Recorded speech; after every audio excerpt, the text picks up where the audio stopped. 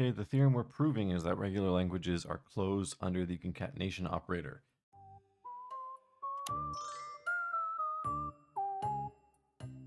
This means is that if we can take two machines, so let's say that machine 1 accepts language A1 and machine 2 accepts language A2, we need to create some machine N that accepts these two languages concatenated with each other. So this means back to back. So here's the proof idea. What we're going to do is we're going to take these two machines and we're going to concatenate them. That means that we do the first one and then we do the second one. So we should only get acceptance if it goes through the entire machine. So we're going to take all of the accept states in machine one and we're going to transfer those over to the old start state in machine two with the empty string. So what this is going to mean is that we're going to have something that goes through M1. M1 is going to finish. It's going to transition into M2, and then M2 is going to finish, and it's going to either accept it or it'll be rejected somewhere along the line. So that's really the only thing that we need to change other than dealing with some start states and accept states. So in order to define this new machine, let's just call it n. We'll assume it's the whole thing. So we're starting here. We'll label this as Q1, and then we're finishing in our set of accept states F2. So for Q, our set of states, it's going to be the union of Q1 and Q2 in our initial two machines.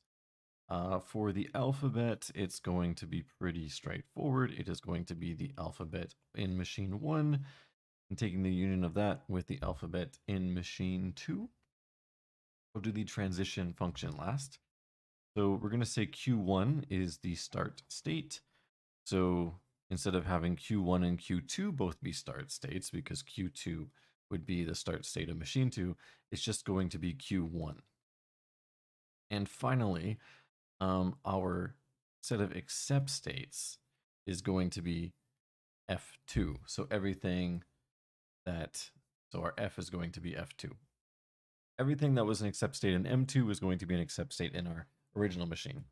Now for the transition function. This is where things get a little bit more complicated, but we can figure this out.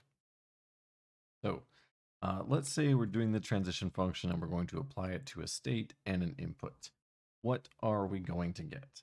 There's going to be some different outputs. So depending on the condition. So we're going to have to think about what we changed and what we didn't. So here's the first thing. If I'm in machine two, so let's say that we're taking a state that comes from machine 2, so Q is from Q2, then I just want to use the regular transition function that exists in that machine. So if we're in the second machine, I'm going to use the second machine's transition function. Similarly, if we're in the first machine, we're going to have to be careful about this. I want to use the first machine's transition function. So that way we're just using the same old transitions we already had. But we have to remember that we changed the final state originally to no longer being a final state. So these are just for the regular ones. These are for the, the states that are not in the original final states. So Q is in our set of initial states, but not in the final state. Well, it used to be a final state. Now, let's say that we have a final state.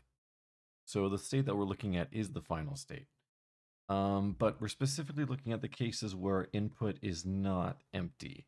So there can be some cases where you have a final state and then it loops around or takes you to a different state that's not a final state before coming back. So for everything that doesn't just transition on to M2, what are we going to do with it? Well, we just want to do the same thing we did before. So same thing. Uh, we're going to use the original assignment function with delta 1 Q and A. We're going to see what we get. Now, if we're in the old transition or the old final state and our string is the empty string, then what we're going to do is we're either going to send it to Q2 or perhaps uh, there's something that is done in the original machine with the transition function. So this is really what we're getting at here with this case. So when we have, when we're in this state and we're taking this empty transition function, where do we go? Well, we go to Q2 or we do whatever um, the original assignment function says that you should be doing. So that's how we formally create the machine. In the next video, we'll talk about the last operator, the star operator.